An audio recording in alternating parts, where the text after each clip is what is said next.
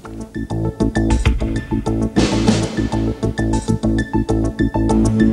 you.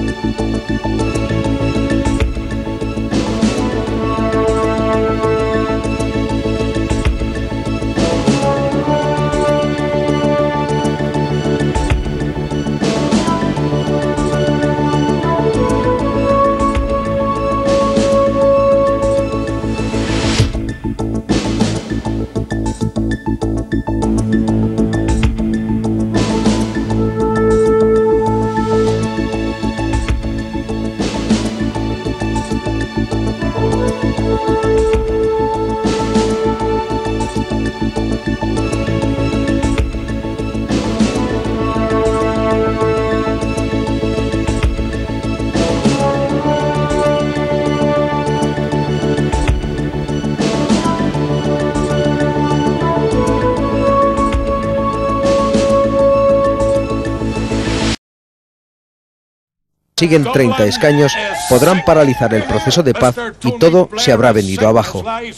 Tras la proclamación de los resultados vendrá lo más difícil, hacer gobernable la nueva Asamblea Autonómica de Luster y paralelamente dos asuntos espinosos, la libertad anticipada de los presos que han aceptado el proceso de paz y la entrega de las armas de los grupos terroristas.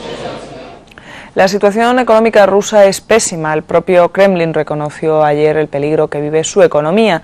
El Fondo Monetario Internacional intenta rebajar la temperatura con la concesión de un nuevo tramo de un crédito congelado que ayude al gobierno ruso a afrontar esta crisis.